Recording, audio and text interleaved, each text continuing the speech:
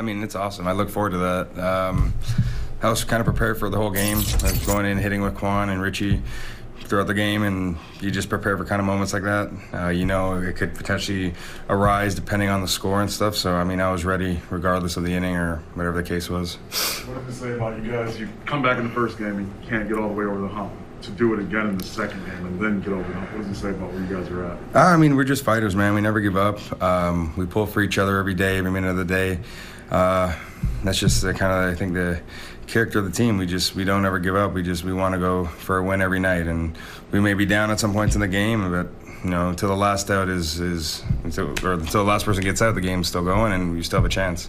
I feel like every day we ask a new question about Kwan and his first. Just you've been in this game for a little bit. Just how amazed are you by what he's been doing so far? He's incredible, man. Incredible hitter, incredible ball player all around.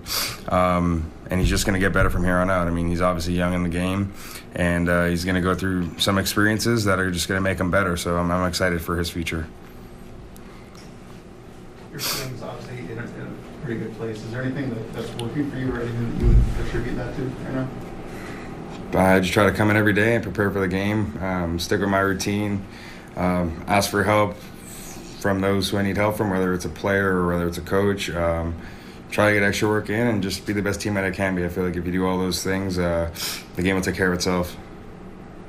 That double play has been Mm. just up the middle. I know you're the first baseman, but to see them turn that play in that moment. It was awesome. I mean, we were going trying to get for a ground ball that whole kind of inning right there, and then we got it. We turned a sweet double play to to win the inning, and that kind of gives us a little momentum going into our bottom half.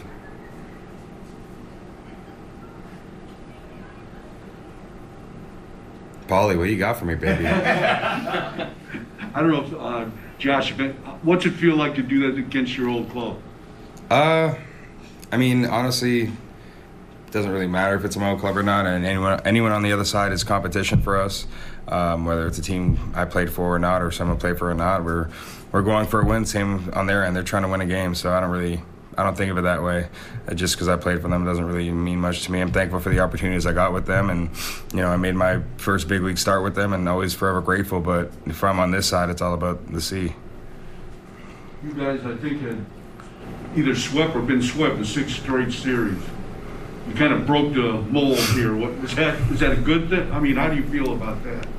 I mean, it's obviously great to get a win. We're just we push for wins every day. Some days aren't don't go our way. Some series don't go our way. Um, but we know we, we work our hardest day in day out, and you know if we sweep a team or yeah, if we sweep a team in a series, we sweep a team. If we get swept, we we move on. Uh, we realize our mistakes and we, we move from there.